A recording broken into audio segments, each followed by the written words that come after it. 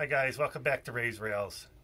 I, um, for my last purchase, I found this engine, this custom um, Lionel engine, on um, eBay. Came out in 1998. Saw it at a few train shows, once in a great while over the last 20 years, and saw it on eBay. Probably this was the first time. It has a catalog, MSRP roughly around $400, and um, I got quite a good deal from the um, seller of it so I was pretty happy with that. It's not a real fancy engine. I guess it was made with during the MPC era, 1998. So it's about 22 years old. Doesn't have the Odyssey speed control or the real fancy um, uh, catwalks on it. It has the electrocouplers and not a whole lot of um, hand-applied detail parts. Um, doesn't have the Odyssey speed control, and uh, but what it does have is um, Magne-Traction.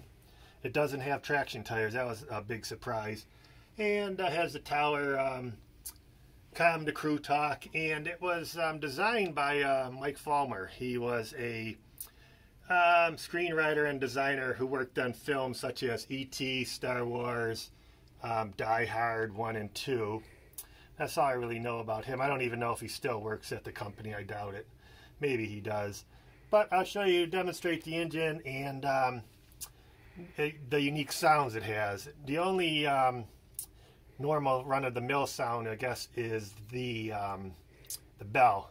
Other than that, I'll start it up and uh, you can judge for yourself.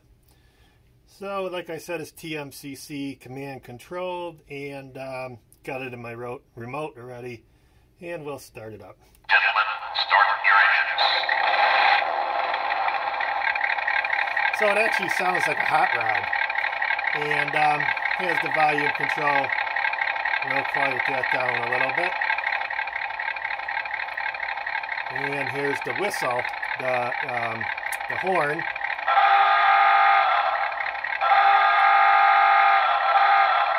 Pretty interesting.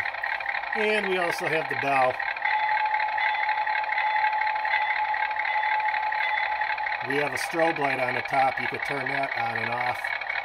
And when you um, move the engine out, it actually um, Sounds like a car burning out. I guess that's what they want it to sound like. So, give that a try.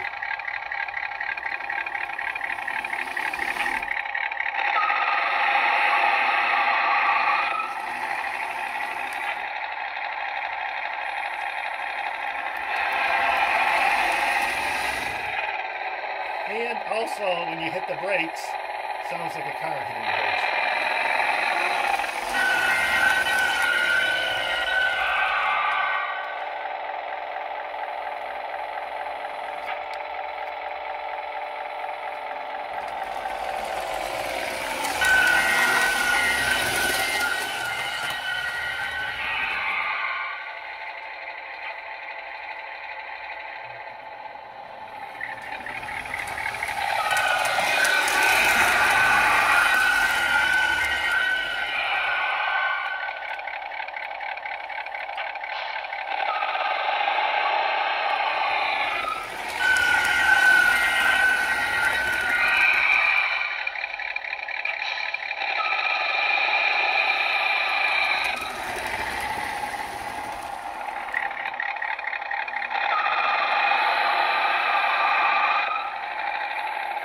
Here's the horn one more time.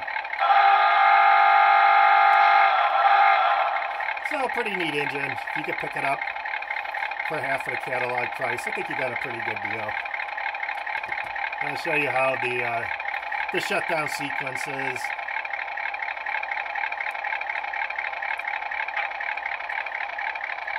Also, I didn't mention it does not and it's also it doesn't have a smoke unit, so pretty easy to maintain. Alright guys, hope you found this um, video informative and you enjoyed watching it.